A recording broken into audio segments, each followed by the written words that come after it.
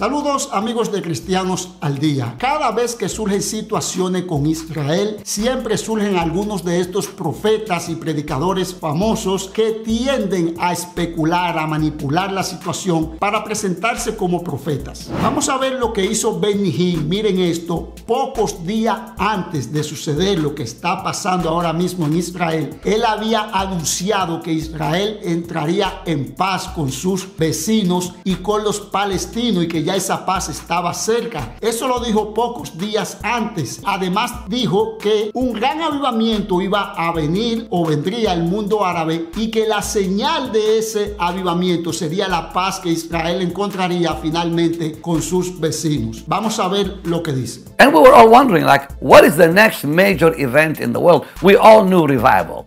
It's got to be a revival because they were all revivals in some way. This is going to be a global revival because now Israel is making peace with its neighbors. And here's why Saudi Arabia is important because Saudi Arabia coming into that, that group that have normal relations with Israel. Think about Egypt has normal relations, Jordan has normal relations. And you think about there's already nations that have come into what is called the Abraham Accord. But when the Saudis come in, this will be major because it will end, it will bring to an end the Israeli Arab conflict that's been going on over a hundred years. Think about that. That conflict will come to an end because Saudi Arabia is a very powerful Arab nation.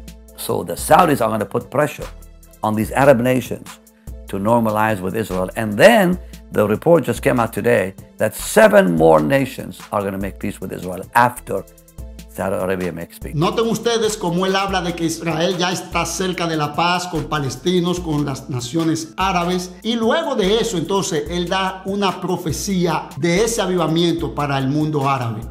I'm here to prophesy, and many of you sweet people in the Middle East are, are, are watching and hearing me now. There will come a mighty move of God to the Arab world. That is certain. God is going to literally move so mightily as He did in the book of Acts.